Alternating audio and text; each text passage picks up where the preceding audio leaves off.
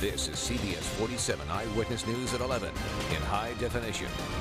He was always there to give you that backbone, that support, saying, hey, you can do this.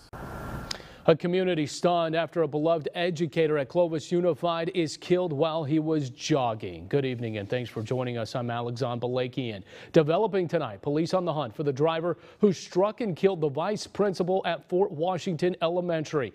The incident happened near Friant Road and Old Friant Road. The 911 call coming in around 6 this morning. The CHP says 43-year-old Gavin Gladding was jogging when he was hit. He died at the hospital. The driver did not stop stop and is still on the loose. Our Dennis Valera joins us live at Fort Washington Elementary. And Dennis, a makeshift memorial continues to grow tonight.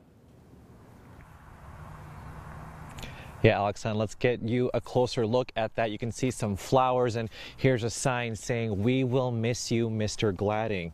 Now, I talked to a lot of people today about him. Not one bad thing to say. It's why nearly 10 years later, one student still holds him in the highest regard. David Brown first heard about the hit and run in church.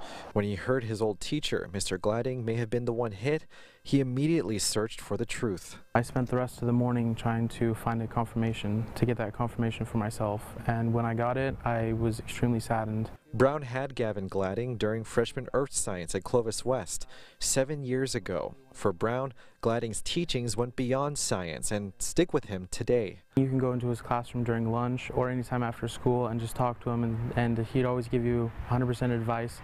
Um, he would just be there as a support system. Gladding's passing rippled through the community all day with families quickly starting a memorial. Anything do to help?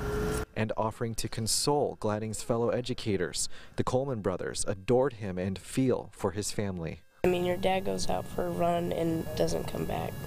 Yeah. It's really sad.